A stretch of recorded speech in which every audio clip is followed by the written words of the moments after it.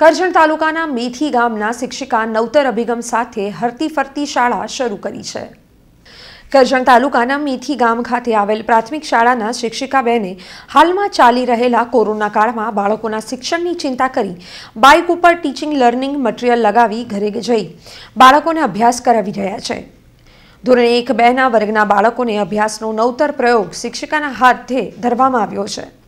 કોરોનાના કારણે શાળા, કોલેજો બંધ છે અને ઓનલાઈન શિક્ષણ ચાલી રહ્યું છે ત્યારે આ અનોખો અભિગમને લઈ વાલીઓમાં શિક્ષણને લઈ શિક્ષિકાના પ્રયાસને લોકો બિરદાવી રહ્યા છે.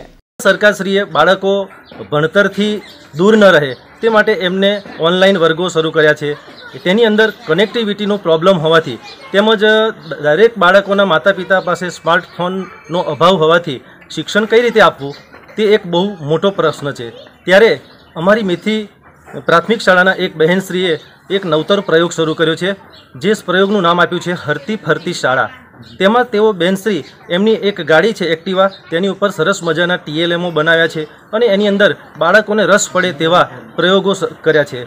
તો આ બેન અમારા ગામની અંદર મજૂરિયાત વર્ગના તમામ જે બાળકો છે, એમને ભણાવવા માટે એમના ફળીએ ફળીએ જઈ અને બાળકોને ભેગા કરે છે, એમની સાથે બેસે છે અને આનંદપ્રદ અને રસમય બને એવી રીતે બાળકોને ભણાવવાનું કાર્ય તેઓ કરી રહ્યા છે, જે ખરેખર બહુ જ સરાહનીય કાર્ય છે.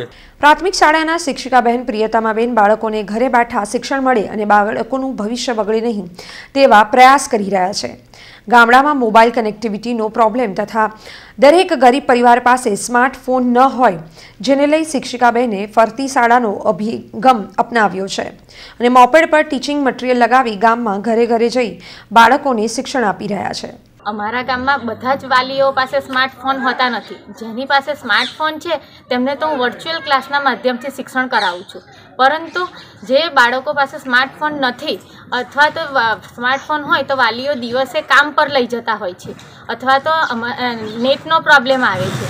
એના લીધે મેં નવતર પ્રયોગ ફરતી ફરતી શાળા એક શરૂ કર્યો છે, જેમાં બાળકોના ઘરે ઘરે એકમને અનુરૂપ ટીએલએમ લઈ જઈ અને શિક્ષણ કાર્ય કરાવું છું. જેનાથી બાળકોને શાળાઓ બંધ હોવા છતાં સારું એવું શિક્ષણ લઈ રહ્યા છે. મારા બાળકો ધોરણ એક બેના પ્રજ્ઞાવજ્ઞા મારા બાળકો બહુ નાના હોવાથી તેમને સ્માર્ટફોનમાં ભણવાનું ફાવતું ઓછું ફાવે છે. તેના લીધે બાળકોને શાળાઓ બંધ છે તેવો અહેસાસ થવા દીધો નથી અને એમના ઘરે ઘરે જઈને તેમને શિક્ષણ કાર્ય કરાવેલ છે. કોરોના મહામારીની અંદર એક જગાએ બેહી અને ક્લાસ પણ ભરાયેલા નથી.